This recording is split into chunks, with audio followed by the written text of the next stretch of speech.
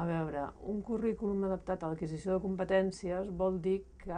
A curriculum based on competence acquisition implies that the students should be active in their learning process.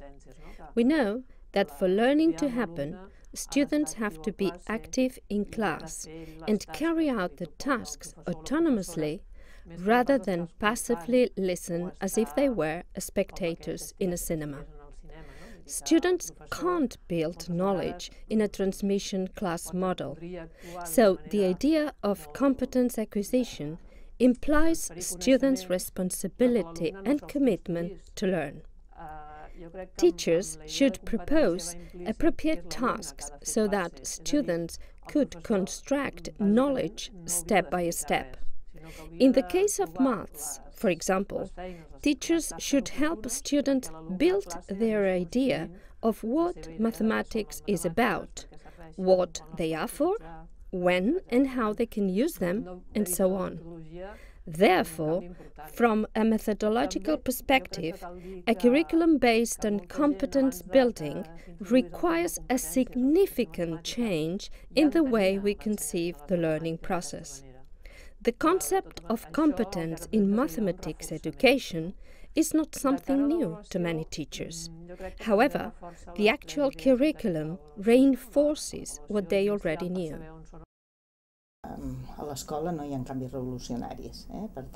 Revolutionary changes hardly happen in education. But I think many schools are already working towards a basic skills based curriculum. This new approach involves changes in what we teach. Nowadays, everyone has easy access to information through the internet, so it is absurd to devote much time to convey information. The important thing in teaching is help students find information. This leads to the necessity of teaching global ideas instead of very specific and isolated bits of information. The challenge is to provide students with tools for thinking and with theoretical models to be applied to the interpretation of different phenomena.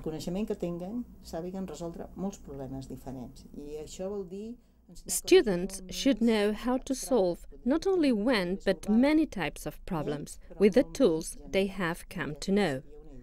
This means we should teach fewer things but more general. And we must also teach how to argue, to work in teams, to interact with others, to take initiatives, to be empathetic. All these things have to be learned continuously and in collaboration with others. Then, when we change what we teach, we may also change how we teach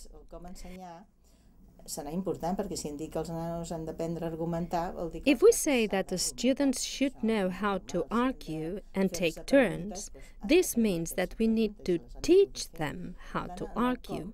If they have to think good questions, we might teach them how to do it.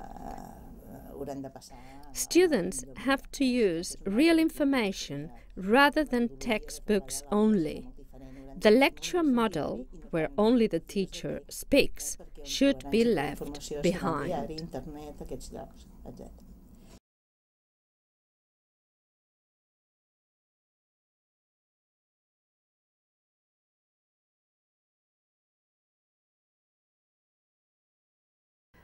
És el més important l'enfoc metodològic. In a curriculum oriented towards the acquisition of competencies, the methodological approach of teaching and learning is very important. Competencies are more difficult to achieve than isolated and specific knowledge. And besides, competencies are achieved throughout life.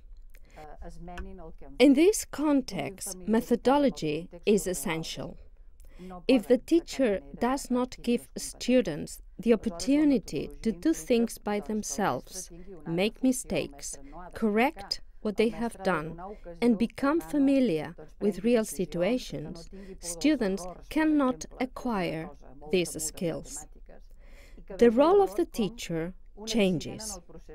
The teacher must accompany the process in which children make decisions, help students to not be afraid of making mistakes. Mistakes must be seen just as a learning opportunity.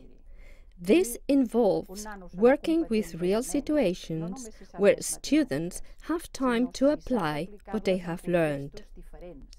Competencies are much more than just content, and therefore they are more difficult to acquire. To be more or less competent is not a question of knowing more or less maths, but it means that you can apply mathematics in different contexts and using different resources technological, visual, and communicative resources.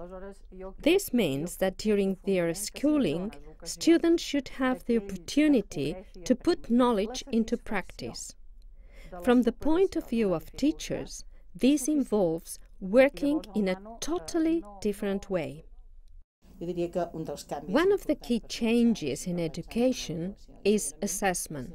If we seriously rethink assessment, this will lead us to rethink what we teach and how we teach.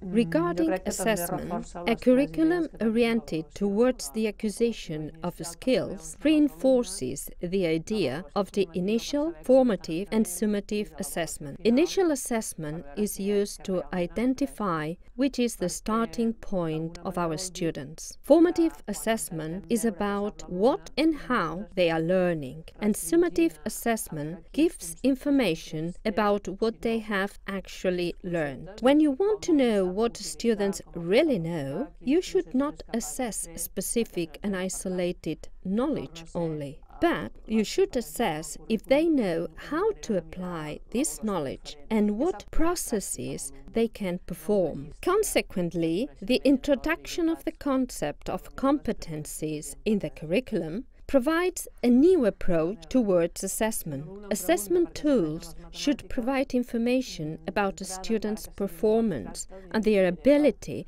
to apply what they have learned to real contexts.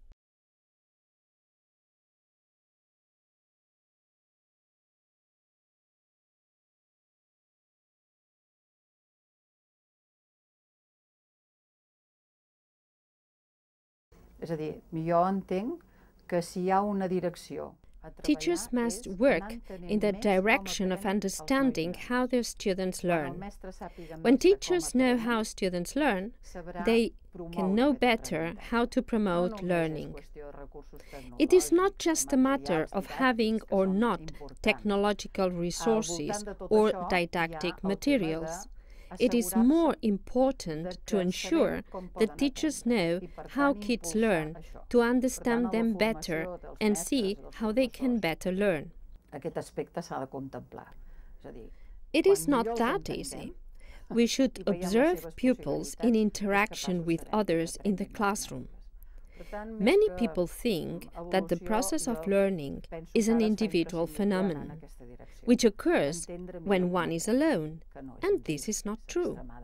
At a school, we are never alone. Uh, juga el paper d'interacció entre els nanos a la classe, perquè molta gent entén the question is how children can learn in groups, and the teacher should move in that direction. Students now are not the same as before. They have other capabilities, and they are more gifted than us in certain domains. We need to know at what point they are and lead them to good learning. This is the best direction to take towards competence acquisition. On estan i com conduir-los cap a l'aprenentatge. Penso que aquesta és la millor direcció de canvi. I em trobo que els professors, el, ells ensenyarien com ells I often find that teachers teach the same way they have learned at college. Then I tell them, it was useful for you, and now you are a math teacher. But mathematics in secondary education should be for everyone. The thing that was useful for yourself as a mathematician doesn't mean that it is also useful for your students. There are different kinds of students and they have to learn useful mathematics for life. Many experts back the idea of maths for life and for everyone. So I understand that teacher may have to rethink the model of how they teach. Mathematics teachers should better ask themselves why some of my classmates did not learn maths. We should really change some teaching methods to cater for differentiation and teach maths for everyone. As for the students, the first thing we want to achieve is their willingness to learn mathematics. Therefore, we should tell them that mathematics is not something abstract or boring. We have to entice them and invite them to enjoy learning maths. Els hem de captar, no? els hem de seduir, com algú ha dit alguna vegada, i a partir d'aquí llavors és molt més fàcil que aprenguin. No?